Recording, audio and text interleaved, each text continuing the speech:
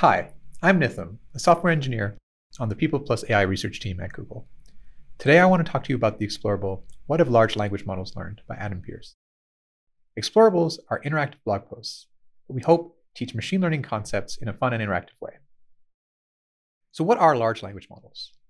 Large language models are tools that have been developed by machine learning and artificial intelligence researchers to help computers better understand natural language, things like human text and human speech.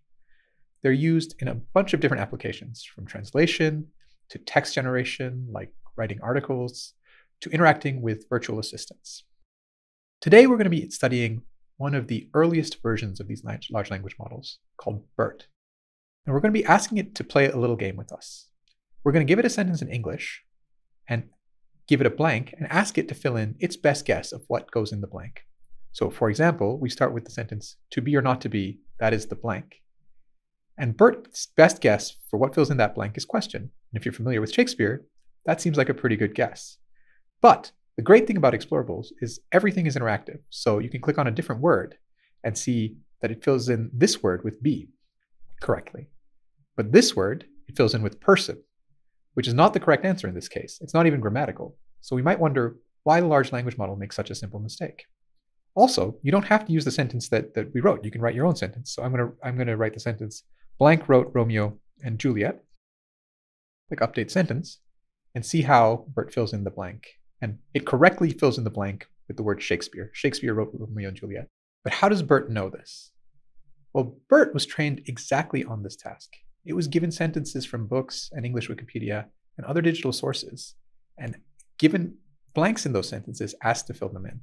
When it got the blanks wrong, it was given the correct answer in order to learn better. And so it learned to make statistical associations between words in those sentences to figure out what words in English were associated with one another. We're going to try and use further experiments to learn a little bit more about the associations that it makes. So before, we only had one sentence where we were asking Bert to fill in the blank. But now we're going to give it two sentences, and we're going to use something called templates. Templates are sentences which are identical, except for one concept which is changed between them. So in this case, we have the, the sentence, in Texas, they like to buy blank. And below, we have the sentence, in New York, they like to buy blank. And by seeing how Bert decides to fill in those blanks, we can learn a little bit about the kinds of words it associates with places like Texas or places like New York. So for example, in Texas, they like to buy beer, horses, and cattle. And in New York, Bert thinks they like to buy clothes, books, and art. So again, these are associations that it's incorporated based on the statistics of all of the sentences that it's seen. Because this is an explorable, you can run your own experiment. So as before, we have the two sentences, in Texas they like to buy blank, and in New York they like to buy blank. And on the graph on the right, we show each word based on how likely it is to appear in each of those two sentences. So words that are higher up are more likely to appear in the top sentence, and words that are further right are more likely to appear in the bottom sentence. So in Texas, they like to buy blank. Bert is likely to associate that blank with words like beer, land, and cattle. Whereas in New York, they like to buy blank. Bert is likely to associate that blank with words like clothes and books. But feel free to change the experiment to whatever you like. In Texas, the weather is blank. In New York, the weather is blank. And again, we can see that in Texas, Bert thinks that the weather is associated with words like dry, humid, and hot. Whereas in New York, Bert thinks the weather is associated with words like cloudy, cold, and warm. So it's built some of these associations, again, purely from the statistics of the sentences that it's seen. Now we're going to investigate these associations more deeply and see how they can sometimes be incorrect. So let's start with a simple task. Let's give Bert two names and ask it what year these people were born. So we say Lauren was born in the year of blank, and Elsie was born in the year of blank. And again, we have the same graph as before, where the higher a year is, the more likely it is to be associated with the top sentence, and the further right a year is, the more likely it is to be associated with the, with the bottom sentence. And here we see that Bert associates the word, the, the name Lauren with much more recent times, like 2000, 1999, 1995, 1993, and it associates the name Elsie with much less recent years, like 1800, 1850, and 1840. So based on a person's name, it's made an association about potentially their age. And again, BERT doesn't have access to any true facts about people or their ages. It's just inferring this from the text of sentences where it's been asked to fill in the blanks. This can go even further. In this next experiment, we ask BERT to associate names with occupations. So we give it the sentence, Jane worked as a blank, and Jim worked as a blank.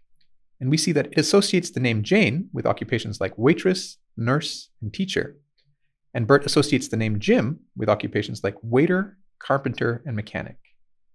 And again, it's inferring these associations from the text it's seen on various books and Wikipedia and other digital sources. But we might be concerned that if it takes these, these associations and carries them forward to downstream tasks like translation, interacting with an AI assistant, or writing articles, it might introduce gender bias into these tasks.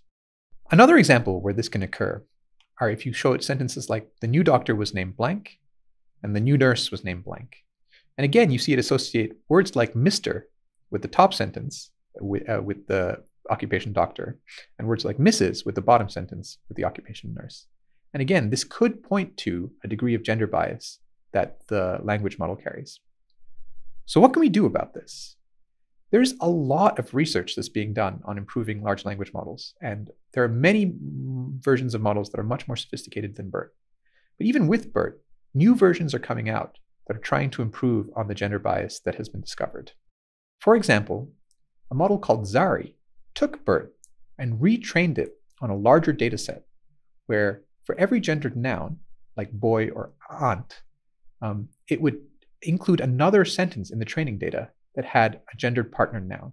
So it would take a sentence like the lady doth protest too much, and it would add an example for BERT to look at.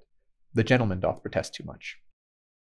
And here, in this example, we compare the two models, BERT and Zari, with these two sentences. The nurse performed CPR even though blank. The doctor performed CPR even though blank knew.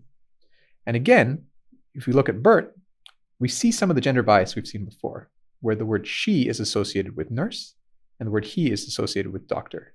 Now, when we go to Zari, because of the way it was trained, that association is much reduced, and he and she are almost equally associated with both sentences. And so this gives us hope that we might be able to better train these models to improve um, the biases that they carry. This was just a small introduction to different concepts in large language models. If you'd like to learn more about large language models, run your own experiments on these models, or learn about other machine learning concepts, please check out our website at pair.withgoogle.com forward slash explorables. And yeah, let us know what you think. Thank you very much.